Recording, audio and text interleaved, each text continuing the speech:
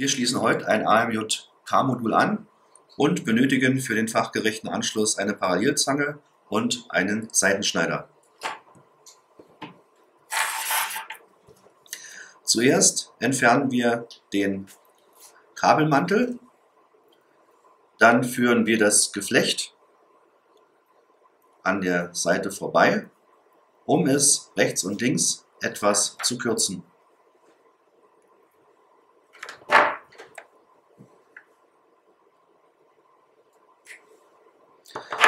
Danach legen wir das Geflecht über den Außenmantel und drehen es leicht ein.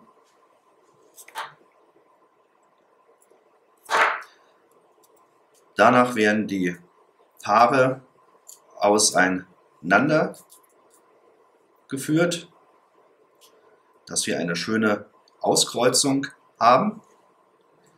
Die Paarfolie öffnet sich an dem Knick leicht auseinander.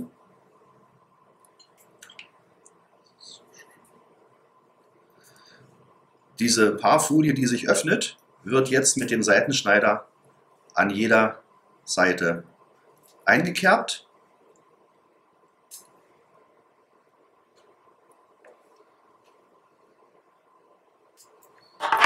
An der Kerbstelle selber lässt sich diese Paarfolie jetzt leicht abdrehen ohne die Paarfolie bzw. auch die Paare zu entdrillen.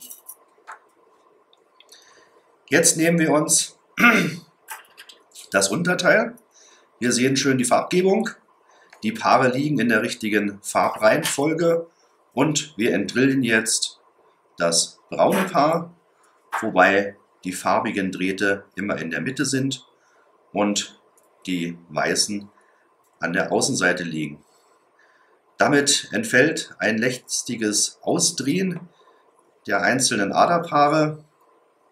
Für die leichtere Montage und Einführung der Drähte kürzen wir diese schräg ab. Durch das Schrägabschneiden lassen sich jetzt die Paare sehr gut in die Drahtführungen einfädeln. Sie schieben jetzt die Drähte in das Modul rein und fixieren das Kabel mit dem ersten Kabelbinder, den Sie auf der Rückseite einführen.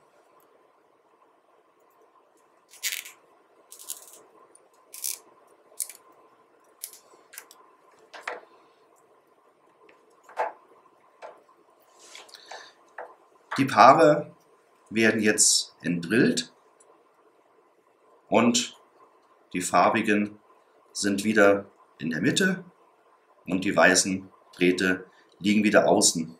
Sie können aber auch die Paare gleich ohne Ausdrillen direkt von oben in das Adernmanagement führen.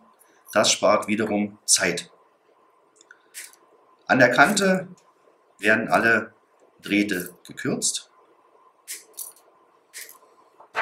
Und wir verpressen jetzt das Oberteil. Sie sehen die Schneidklemmen, die denn die Kontaktierung der Drähte ermöglicht.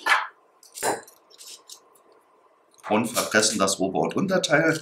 Sie hören das schöne Einrasten. Damit ist die Kontaktierung sichergestellt. Und bei einer geschirmten Verkabelung darf die Zugentlastung nicht als Schirmung genutzt werden, was bei unseren Modulen durch die getrennte Schirmzugentlastung gegeben wird. Zum Schluss werden die Kabelbinder gekürzt und Sie haben das Modul fachgerecht angeschlossen.